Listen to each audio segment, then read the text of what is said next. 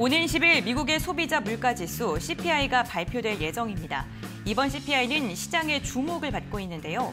물가 상승세가 꺾이는지 여부가 미국 중앙은행의 긴축 강도를 결정하게 될 가장 큰 변수이기 때문입니다. 과연 관련 지표는 어떻게 나올지, 시장에는 어떠한 영향을 미칠지 체크해 보겠습니다.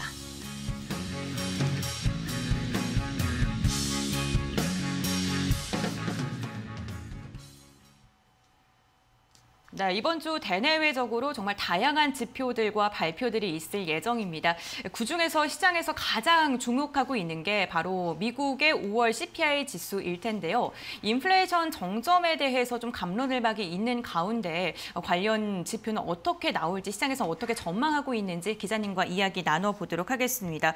어, 아무래도 6월 FOMC를 앞두고 나오는 지표이기 때문에 좀 시장의 주목이 더 큰 상황이죠. 네, 맞습니다. 그리고 사실 6월 FOMC가 이제 6월 14일, 15일 이틀 동안 이제 진행이 네. 되는데 여기서 연준 인사들의 발언이 지금부터 제한됩니다. 음, 그래서 이제 네, 뭐 시장에 대해서 어느 정도 뭐 가타부타 말을 할 수 없는 블랙아웃 기간에 접어들기 때문에 이번 주 10일에 발표되는 6월 소비자 물가 지수 CPI가 이제 인플레이션 방향 더 나아가서 경기 침체에 대한 의견이 지금 분분한 상태에서 굉장히 주목받고 있다. 좀 이렇게 말씀드릴 수가 있을 것 같고요. 여기서 만약에 이제 CPI 지수가 어떻게 나오냐에 따라서 이제 시장이 방향성을 결정할 수 있다. 이렇게 전망이 되는데 또 같은 날 보면은 중국에서도 5월 CPI 지수 그리고 생산자 물가 지수 이제 PPI가 동시에 이제 발표가 됩니다. 이제 중국 같은 경우에는 다른 선진국과 이제 반대로 이제 약간 저물가 이제가 이제 좀 문제가 되는 그런 상황이라고 해요. 그래서 네. 저물가도 상당히 상당히 문제이기 때문에 이런 것들이 어떻게 나올지 좀 그런 것들이 좀 주목받고 있고 또 이제 CPI가 또 중요한 이유가 이제 그 유럽 중앙은행이 이제 통화 정책 회의를 열고 이제 기준금리를 결정하게 되는데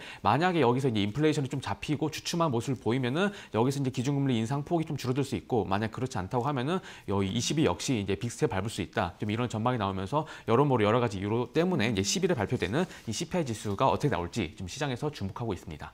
네, 그렇군요. 인플레이션 정점론에 대해서 좀 의견이 분분한 상황인 건 맞는 것 같습니다. 어, 그런데 시장에서는 미국 국채금리가 3% 넘게 반등한 것만 보더라도 물가 상승 쪽에 조금 힘을 주고 있는 게 아니냐, 그렇게 전망하고 있는 게 아니냐라는 게 또 조심스럽게 나오고 있잖아요. 네. 시장 전망은 좀 어떤가요? 네, 시장 전망도 음. 사실 그렇습니다. 그래서 뭐 3월에 8.5% 그리고 네. 4월에 좀 주춤할 것으로 예상해서 시장에서 그때 8.1%로 예상했었는데 네. 8.3이 나왔었잖아요. 어, 물론 네. 주춤한 건 사실이지만 시장 전망치보다 높게 나왔기 때문에 그때 당시 또 시장이 굉장히 또 변동성을 보였던 음. 그런 흐름이 지금 기억이 되는데요.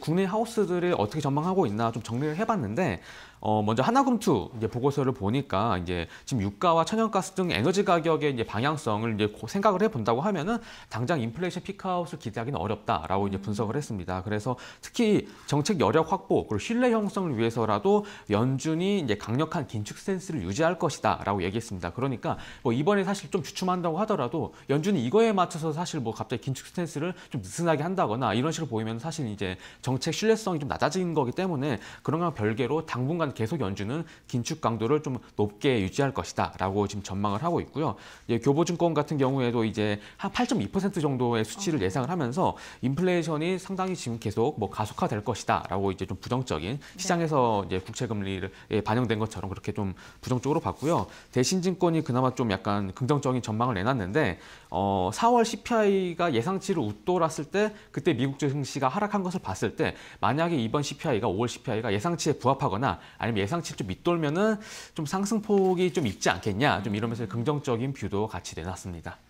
어, 긍정적인 전망과 함께 부정적인 전망도 나오고 있는 상황입니다. 사실 물가 상승도 상승이지만 경기 침체가 같이 오는 그 스태그플레이션에 대한 우려가 점점 더 커지고 있는 건데 뭐 긴축 후에는 침체가 올 수밖에 없다. 유가가 이렇게 급등했는데 경기 침체 당연히 따라온다. 이러한 부정적인 이야기 같이 나오고 있는 상황이에요. 경기 침체 부분에 대해서는 좀 어떻게 바라보시나요? 네, 맞습니다. 사실 뭐 경기를 침체하더라도 물가를 잡아야 된다. 지금 아, 이런 어, 네. 분위기잖아요. 그래서 사실 뭐 경기 침체에 대한 그 논란 그리고 우려가 어제 오늘 얘기는 아닌데 최근에 이제 월가 월스트리트 거물들이 연달아 얘기하면서 다시금 한번 좀 주목을 받고 있다. 좀 이렇게 말씀드릴 수 있을 것 같은데요.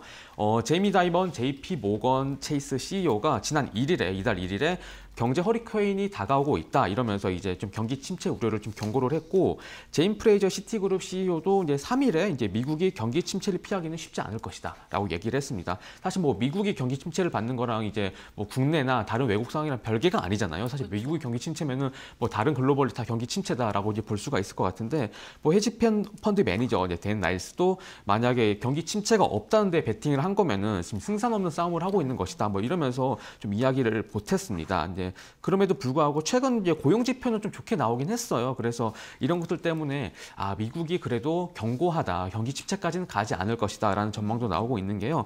어, 뭐 연준의 입장도 사실 마찬가지입니다. 그래서 네. 5월 고용 보고서를 보면은 그 5월 동안 비농업 부문 고용이 39만 명 증가했고 실업률은 이제 최저치를 기록을 했어요. 이제 반세기 만에. 그래서 뭐 이런 거과 관련해서는 뭐 굉장히 어렵겠지만 경기 침체까지는 가지 않을 것이다라는 이런 전문가들의 발언도 있으니까요. 이런 것들 특히 이제 CPI 지수를 보고 이제 경기 침체에 대한 부분들은 우려가 있다 이런 것들을 알면서 좀 이렇게 뉴스를 팔로잉해야 될 것 같습니다.